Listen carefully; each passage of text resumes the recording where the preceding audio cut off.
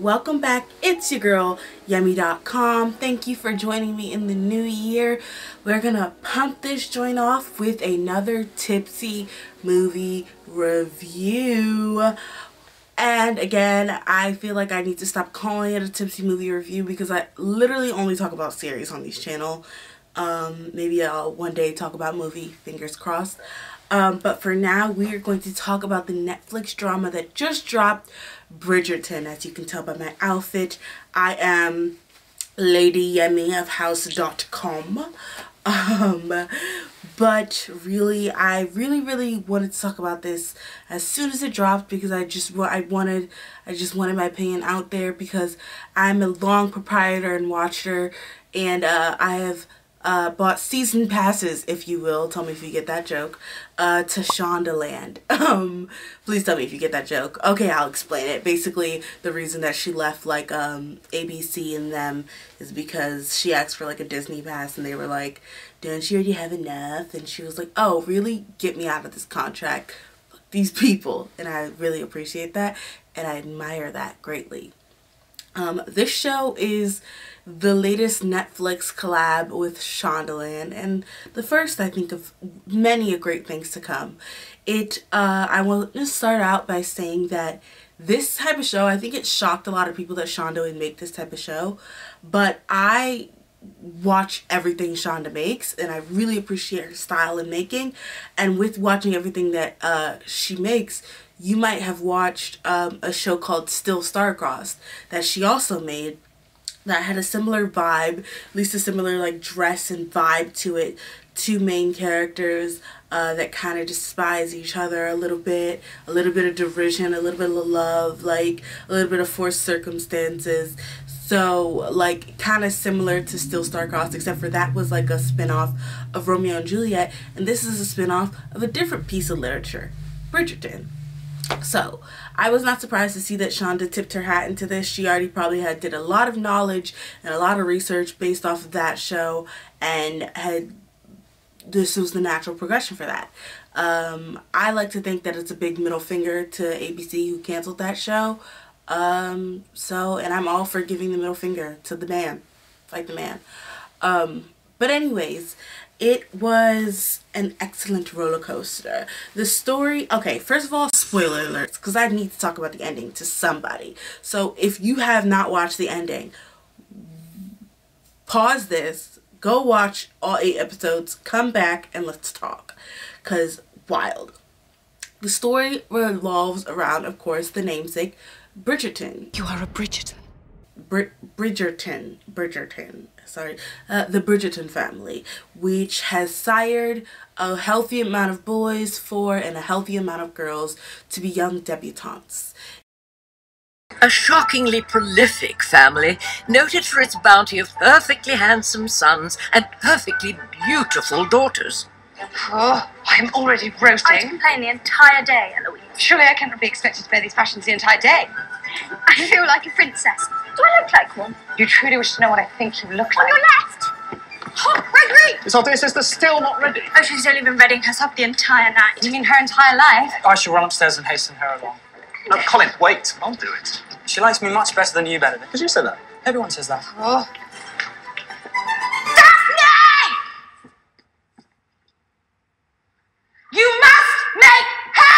It is mostly about the young lady Bridgerton, uh, Daphne, who is fourth in line because they're named alphabet alphabetically, which helps me to remember different characters. But she's fourth in line basically, and it's her debut, her debutante debut, which means it's time for her to go out on the scene and try and find a husband. Um, across the way is the Feathertons or Feather somethings or whatever. They are the other family. Um, they are like just casual chill with each other unless you're talking about like uh, Penelope and Eloise and they're besties. Um, and they're like very interesting. So the characters, there's a lot of characters floating around, there's a lot of families, but the characters that you need to figure out you need to pay attention to are Daphne uh, Bridgerton,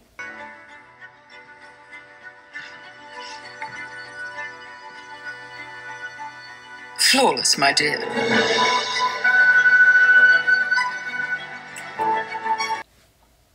Um, not even really her brother. You don't really need to pay attention. She's really the only one. It's the main story is Daphne Bridgerton, um, the Duke of Hastings, Simon, and their kind of love story and how that blossoms and how that comes about. Um, they do it in this really cool way where you kind of just see like the first uh, musings of their plan and their love and the how the whole setting unfold in the first episode. The first episode feels like it, it's like a movie kind of. Like because it's just it caps off so well that you just feel like it's a movie of some sort. Um but it was really good. It set the scene perfectly. And then the second episode, it goes immediately into learning Simon's backstory and what will eventually be the main issue in the tail end of the season. So, this is where the spoilers start. I liked this a lot. It, it was very interesting to me to see all the different storylines. I feel like um, it was it was very gracious and graceful to see all these characters of color as well. Um they talked about it just for a second like they were like oh like he married one of us. So like that's why we're like cool to be in this society. Um i feel like i feel like i would like that explained a little bit more because i feel like just because a king marries a queen i don't think that would like suddenly give like all the black people lordships. I just want that explained a little bit more. But um, it was really, really good. I like that they talked about it and they tapped on it because I was confused for a little bit. But it's also see, good to see a person of color as the queen, like a, the the highest standing in the uh in the the land is is this black woman. Um, she also snorts cocaine, so modern woman, beats love, and chicken grease. Um, I guess anyways I really, really like the story. I think that it's very interesting. I think all of the different storylines are very interesting. I think where I would have loved it to be explained more and expounded upon more is the, the little, little smaller storylines. Like, um, it very much felt like it was uh, Daphne and Simon's story. It was the story of how they are coming to be and coming together, which is beautiful and blossoming and like full of schemes and interest itself. But like because they had so many interesting side storylines, like the second brother and this like art cult house, Benjamin Franklin sex cult esque kind of place that he was going. The oldest brother and his love of the soprano chick, who I just really don't know why he was so in love with her. She was like barely interesting. I don't know why he was so in love with her, but like whatever, it's on him. Um, the third brother and his uh, story of him, like Colin, courting um, this other girl, Miss Thompson, uh, who like becomes a, a ward of the Feathertons or Featherings or whatever, and it turns out she's pregnant and like fell in love with this dude who uh, uh, didn't abandon her in the end or whatever. All this different stuff. There's so many different storylines going around, and it feels like we only got true appreciating resolution to one of them, which I guess bodes well for the next season. But it also like it's the main storyline that got capped off.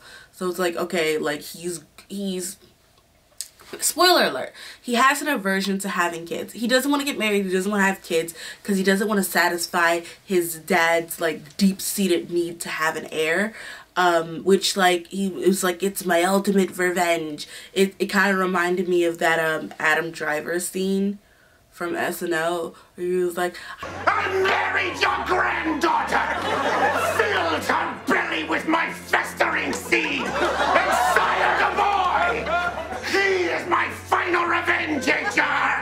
my greatest revenge to you, H.R. Pickens. Like, it kind of gave me those vibes with that. Uh, but he swore on his dad's deathbed that he would never marry or give children. But, like, also, it, it, part of it is that he feels like he's too broken to like decently love someone and it's like this whole deep storyline that's great and beautiful it gets capped off nicely because you know I've never rooted for someone to come inside of someone so fervently you know? I'm like just do it. Just knock her up. Knock her up. And he did it. And then you see that they have a baby at the end and it's beautiful. And i hope they name it anthony. No her brother's name is anthony. Uh albert. No albert's a bad name alfred alfred let's go with alfred. Hope they name it alfred. Um but yeah that's how i felt. And i was like that story capped off nicely. It was beautiful. It ended beautifully. But like there's so many questions that i have left to ask. Like there's so much more. It's like they ended it in a nice place where if there was no season two, for the main couple at the very least, it would be like, okay, it's like they had a happy ending. But there's too many questions for everyone else. Like, Penelope was always my favorite character up until a certain point because she started to get annoying with her self-righteousness. Look, whatever happened in there, we have to stick together, okay? We have to back each other up. Yes, okay, I was there. I admit that, but I didn't do anything It was Michelle. It was all Michelle. I'm not going down for something I didn't do. If anyone deserves to get punished, it should be Michelle.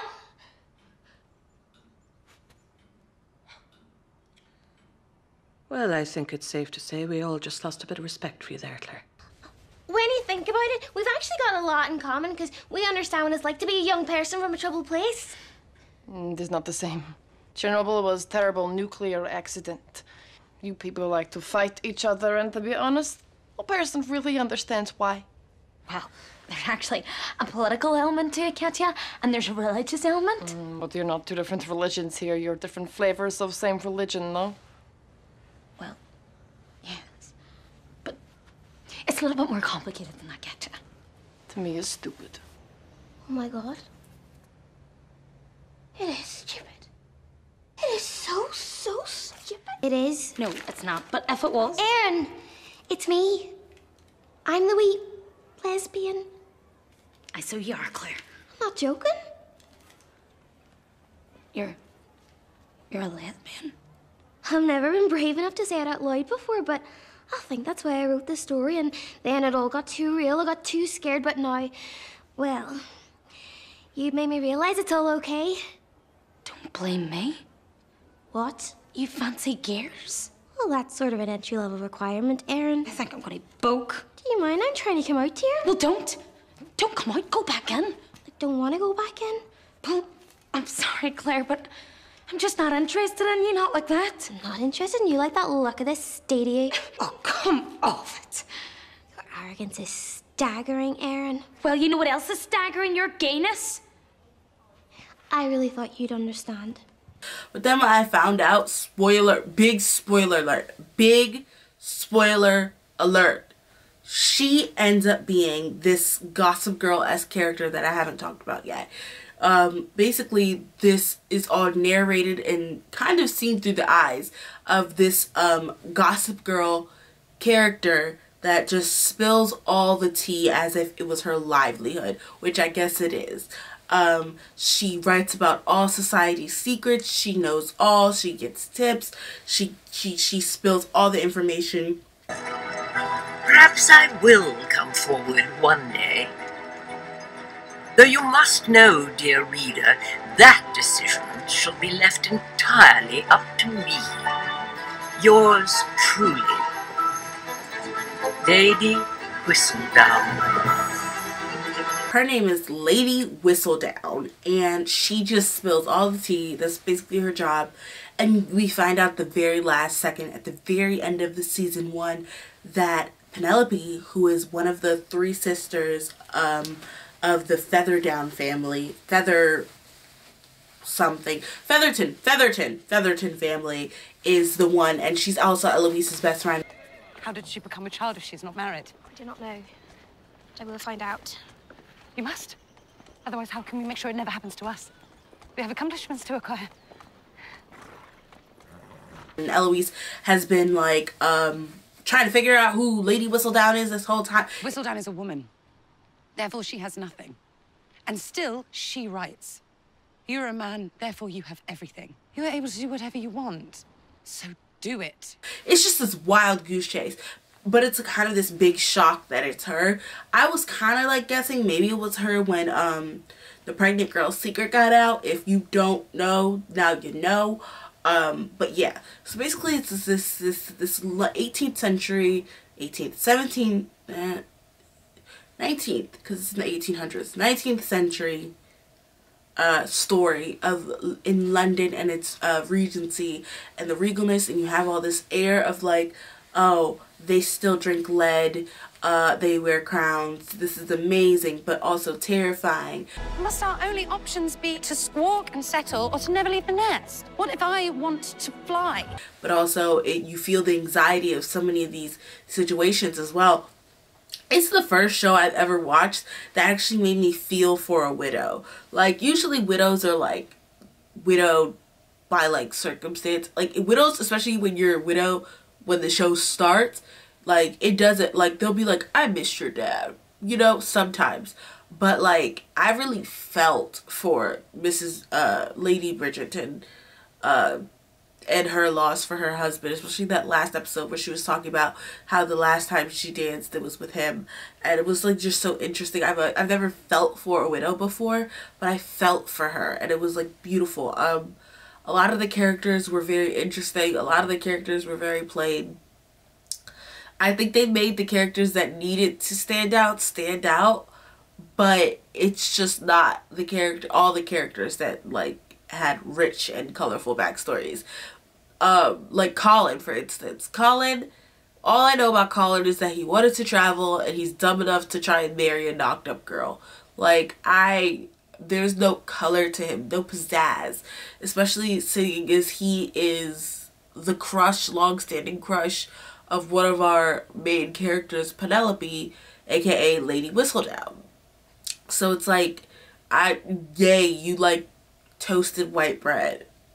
Like, he's not that interesting. Even Anthony, I believe Anthony is their oldest brother's name, wasn't that interesting. Like he was like, it's just it'd be literally like he, all he knows is drinking violence and making bad decisions on uh the the behalf of his family. Like that seems like all he knows because that's all he did the entire season.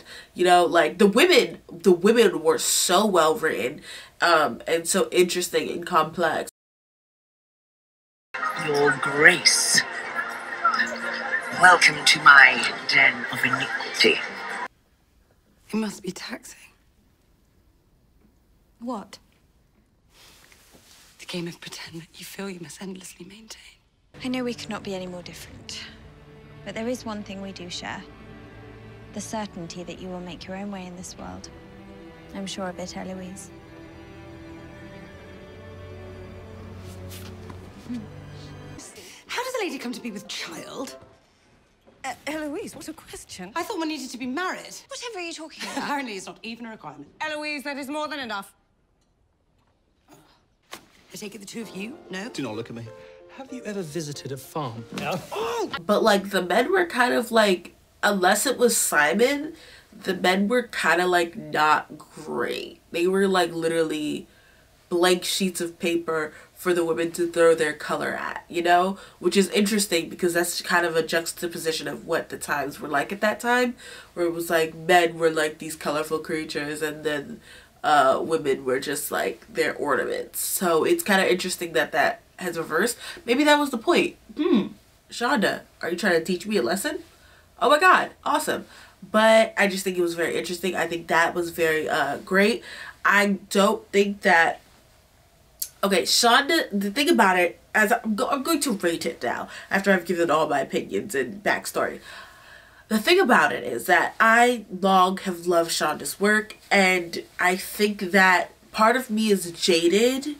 Like, I love the characters, they're very interesting, the stories are good, but like, and the writing is, is, is also well done. I don't think it's my favorite writing because like it's I think because it's Shonda and I know it's Shonda that's kind of like tainting the color of it for me because like Shonda is known to have like these lengthy monologues, these great speeches that well up inside of you, especially if you're a woman, especially if you're a woman of color. These like beautiful lengthy speeches. You think Quinn and I are BFFs forever? And I'll let that cloud my judgment or that mini Quinn she's carrying is a little person I'm already in love with, so I just can't handle the idea of both of them dying. You think there's a soft, chewy center in here. You do think that. And for the life of me, I can't figure out why. You gave me a dead mother, a life in boarding school. Then you told me everything I knew was a lie. You took away the only man I ever truly loved. You killed his son. You consistently erased my hopes, hmm. my dreams, my ambitions. You taught me the only constant worth holding on to is the Republic. You made me in your own image. The apple doesn't fall far from the tree poison, though it may be. Remember that? I am just as you made me. That ray of light you think I am isn't a warm campfire, Dad. It's a blowtorch. So why would you think I would choose Quinn over the Republic? Where you went wrong? Leviticus. Thou shalt not lie with a man as one Oh, lies with a female. don't female. do that, It Daddy. is Don't quote the. Bible at me. The outcry of Sodom and Gomorrah is great, and the, the sin is exceedingly grave. Carlos, this is not what we. Jesus, a new commandment that I give unto you, that you love one another. Romans.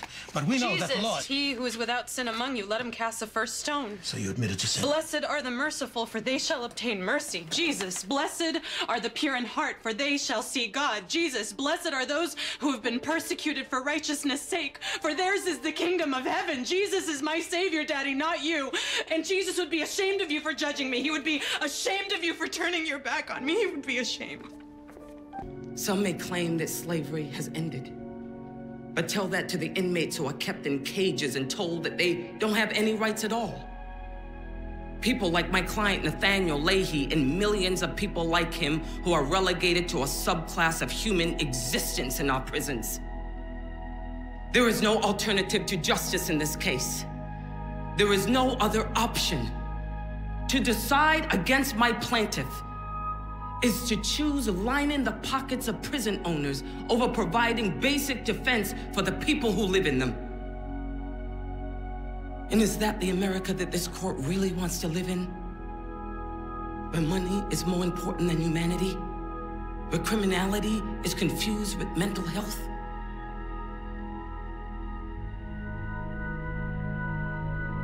The Sixth Amendment was ratified in 1791. It's been 226 years since then. Let's finally guarantee its rights to all of our citizens. or like just short things like whether it's like a scandal you want me earn me how can i satisfy you today like when she was like am i your buffer now like like scandal that like uh she always had great like boom boom booms and and the same thing with how to get away with murder it's just great boom boom booms the same thing even with still starcrossed or grey's anatomy grey's anatomy is the most quotable show on tv I did nothing to you. I lost my husband and the father of my children, and you're falling apart. I don't get to do that because I have three kids. So please shut up and get out of my room! Meredith. Get her out of here before I kill her! That great dialogue of just like boom, boom, boom, boom, boom, like quotable, gifable, snatchable moments from her. Um, so I think that, and then also the fact that I've seen a similar show that she's made that had a similar ish presence. Um, and like I think that I'm so in love. I've like that it's it's like when your when your idol dies too soon, like when Aaliyah passed away. Like it's it's that feeling. It's like that show was canceled unjustly too early. So I will always idolize it in my mind, and anything that like tries to come after it is just going to have a tough time um comparing and living up to it, which is not its fault, but like it's the truth.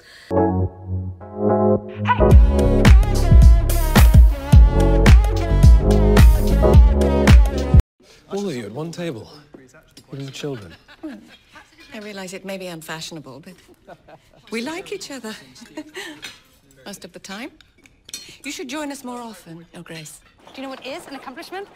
Attending university. If I were a man, I could do that, you know. Instead, I shall have to stand by and watch dear Mama appear proud because some man should like to admire my sister's face and hair and fill her up with babies. Patience, patience, patience. I ain't got time. Just going through. You tell me what I wanna hear, but never what you're feeling. Keep me in the dark, but I've had enough. I don't want forever.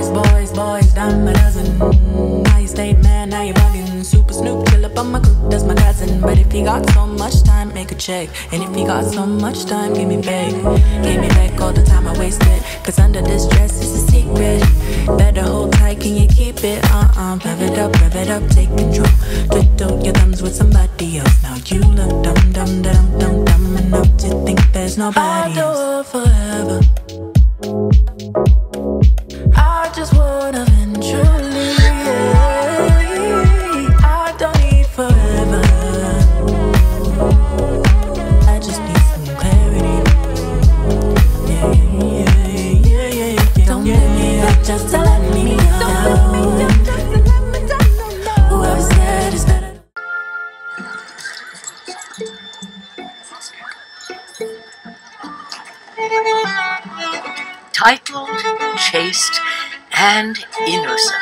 This is what they have been raised and trained for since birth. Tonight we shall discover which young ladies might succeed at securing a match, thereby avoiding the dreadful, dismal condition known as the spinster. Oh, I do love to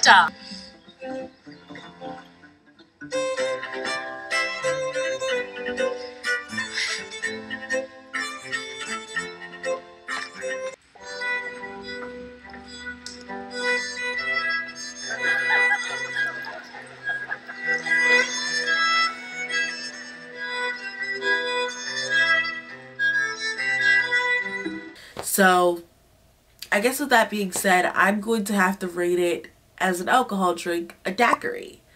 Um, because it's classic, it's simple, it has the great ingredients, the little shot of spice in it, but it's just like also elegant and fierce. It like it also will get you drunk, We'll get the job done, we'll get you drunk, but like also elegant. Um, it's sneaky. Uh, with that being said, uh, I'm glad you joined me. My name is Yemi.com. Don't worry, I will be back, so stay tuned.